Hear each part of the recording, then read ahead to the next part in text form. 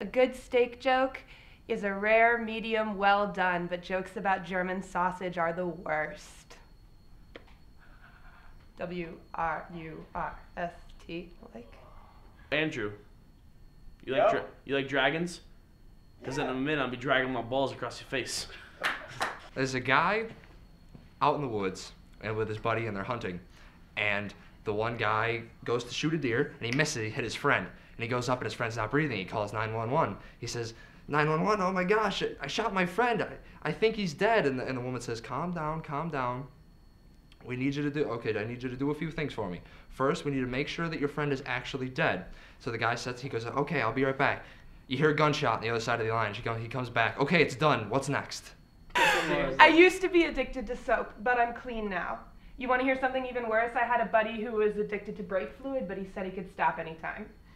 So after 20 years of marriage, uh, lady turns on the light doing sex with her husband, and she finds out that he's been using a dildo on her these past 20 years.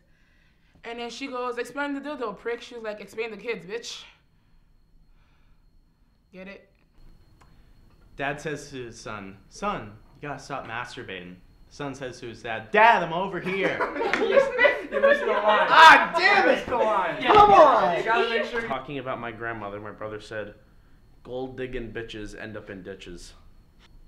Dad says to his son, Son, you gotta stop masturbating because you're gonna go blind. And the son says to his dad, Dad, I'm over here. So, how do you circumcise a hillbilly? how. You kick his sister in the jaw.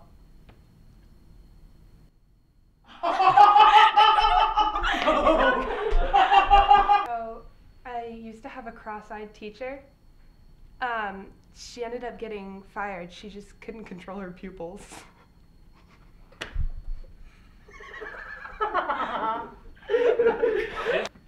A scientist walks into the bar and he sits down and he says to the barman, I'd like to order a drink for myself and the beautiful woman beside me. The barman sets down two drinks and the woman's not there and the guy drinks the first one and he leaves. Comes back the next day, same thing. I'd like to order two beers, one for myself and the beautiful woman beside me. Same thing happens and uh, the third day, the scientist comes back and, and the barman says, Listen, why do you keep letting yourself get stood up? He says, Oh, I'm not getting stood up.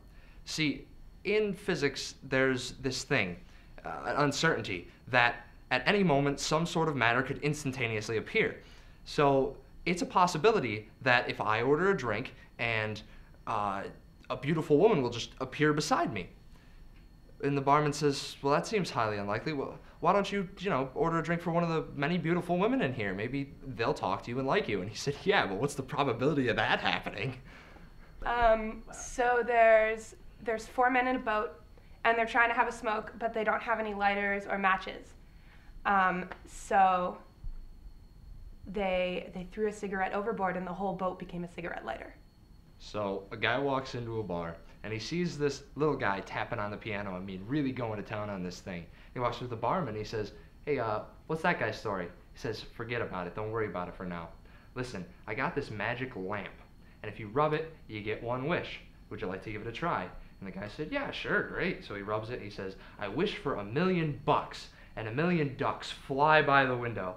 And he says, What's up with that? I, I wish for a million dollars, not for a million ducks to fly by. And the guy said, Well, you really think I wish for a 12 inch pianist? Whoever stole my Microsoft Office is in big trouble. You have my word.